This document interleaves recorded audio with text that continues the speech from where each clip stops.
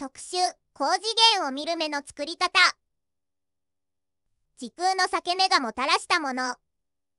地球上空に突如出現した時空の裂け目は世界中の研究者たちを驚愕させブレイクスルーを意識させた。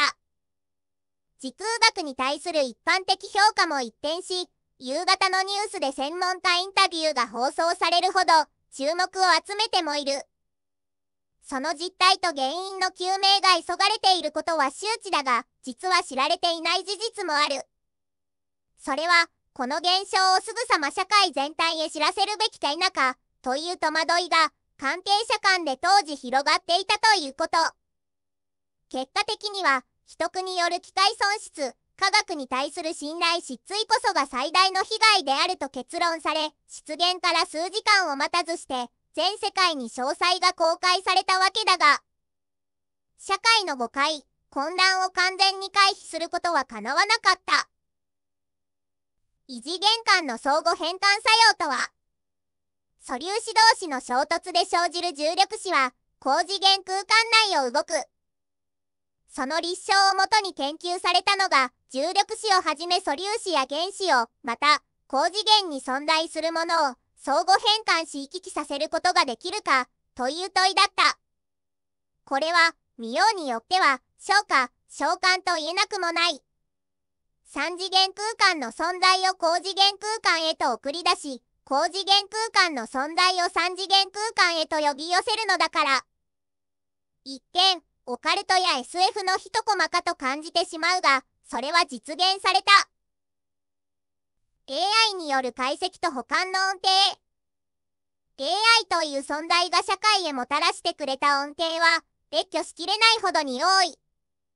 中には、それが AI によるものであると人々に認識されていない成果さえ、多数に上る。こうした現状は、時空学の世界においても同様だ。いくら非常に高度な専門教育を学んだ天才的科学者といえど、人である以上、高次元の現象を深く洞察指針に理解することは、決して容易でない。AI による解析と保管があればこそ、まさに、異次元とも言える難解な出来事の理解に対して、無理なく健全に向き合うことができたのだ。サイボーグ技術による人の認知能力強化。AI による解析と保管が多大なる貢献をしてくれているとはいえ、3次元世界で生きる人類が高次元世界の様子をありのまま認識することはまだ不可能である。この不可能を可能とする解決策こそがサイボーグ技術であった。AI と人類の融合を基幹とした革新的進化によって双方のウィークポイントは埋め合わされ高次元の事象もまま受け止められるようになった。もしかすると時空の裂け目はこの時を待っていたのかもしれない。我々と交流するために高次元空間を検出し内部を観測する機器群の開発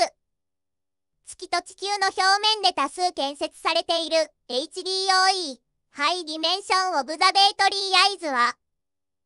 4年後に控える試験運用開始へ向けて着々と整備が進んでいる。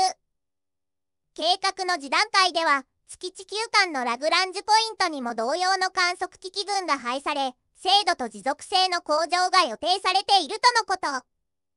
時空の裂け目が出現するはるか昔大多数がその存在すら意識していない頃からたゆまず努力し続けてきた関係者たちは今という状況に対しどんな思いを抱いているのだろう。今後の展望。次なる目標として未来を支える若手研究者たちがもっと取り組んでいる課題は異次元間の相互変換作用を応用し高次元空間と3次元空間を任意に往来する手法の確率である。現時点では任意に変換往来することはできるが再現性に乏しくまた原子レベルにとどまっている。超難題への挑戦をさらに続けその規模が徐々に大きく育っていくことが期待されている。ME14 年5月1日